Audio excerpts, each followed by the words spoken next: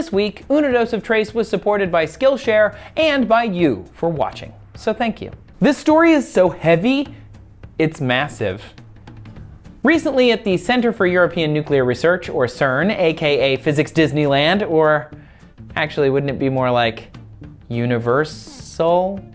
anyway, they discovered that because of a charm quark asymmetry, we can pretty much explain why our universe exists the way it does. So that's nice, I guess. Thanks for watching. Make sure you subscribe, join my Patreon to support the show. I'll see you next time in the future or whatever. I'm just kidding. So what the heck did we just learn and what is a quark anyway?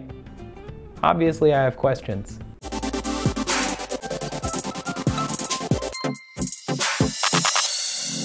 Hey there, Deep Space fam! Belly up to Quark's Bar, and let's learn about quarks. You likely already know that our universe is made of matter. Antimatter is also a thing. Maybe you saw my Seeker mini doc about it. I don't know, maybe you did. At the moment of the Big Bang, the universe contained equal parts matter and antimatter. But immediately afterward, all the overlapping matter and antimatter annihilated each other in a huge energy amazing orgy. Most of the universe in that moment became energy. Only one particle for every billion survived the great annihilation, as I'm gonna call it from now on. But why exactly wasn't there 50-50 matter-antimatter out of the Big Bang? What happened mathematically? we should have had a perfect balance. So what caused this imbalance? All matter we know of is symmetrical. Hydrogen and antihydrogen are exactly the same but with flipped charges. An antimatter chair allegedly would be exactly the same as a matter chair except that it couldn't exist in our universe. There shouldn't be any imbalance at all, and yet here we are with matter everywhere. So physicists at CERN have been trying to find out which tiny bit of matter threw the whole system out of balance. They answered this just recently using the LHCb, one of the many experiments on the Large Hadron Collider particle accelerator under the borders of France and Switzerland. Something is up with the charm quark. Or maybe it's not.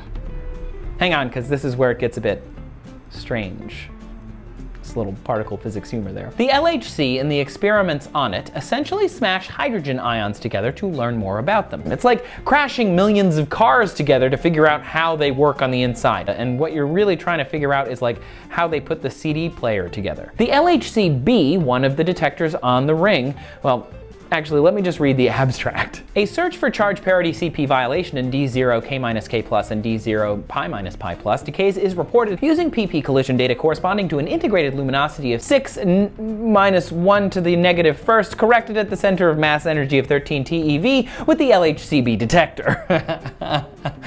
oh my god, physics is hard. So let me break it down like the LHCb did. There are six types or flavors of quarks up and down, top and bottom, charm and strange. Each have different properties, and they tend to pair up to make mesons or triple up to make baryons. There are over 200 different combinations that we know of. For example, a proton is two up and one down. A neutron is two down and one up. Electrons are something else. They are not made of quarks, they're leptons. It's a whole different thing. Charm quarks are more massive, but they don't seem to make up anything that doesn't decay right away into something else. So we can make and study them pretty easily in charm factories.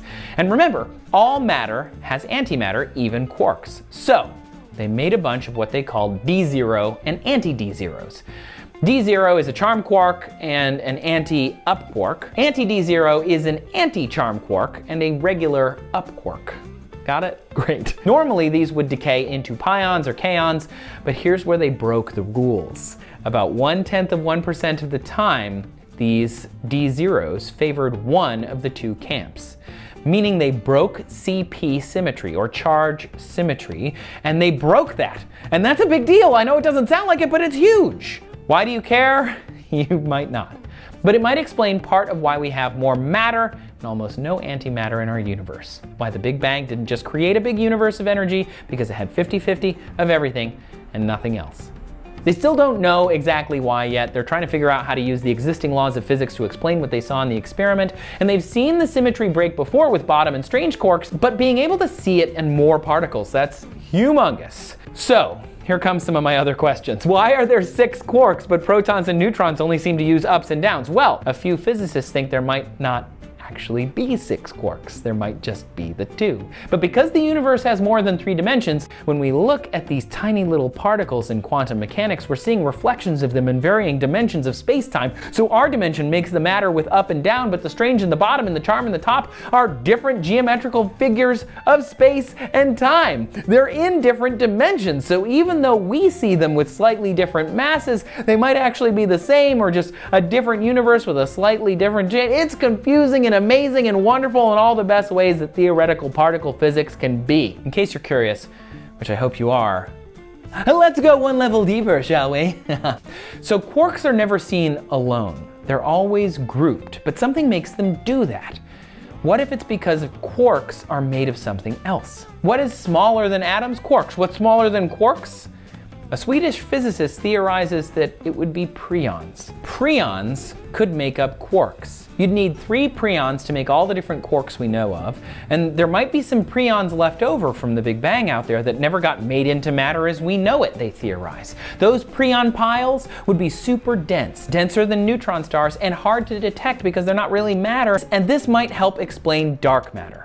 But while some physicists are on board with the preons, some are preeved off and think it's rubbish. This episode of Uno Dos of Trace was graciously supported by Skillshare. Skillshare is an online learning community for creators with more than 25,000 classes in design, business, technology, photography, marketing, or film and video, which is of course my favorite. Whether you want to fuel your curiosity or creativity or just learn new skills to advance your career, you can use Skillshare for that. There's so much to think about, and I learned a lot watching Debbie in The Art of the Story creating visual narratives was so good. So go learn something on Skillshare.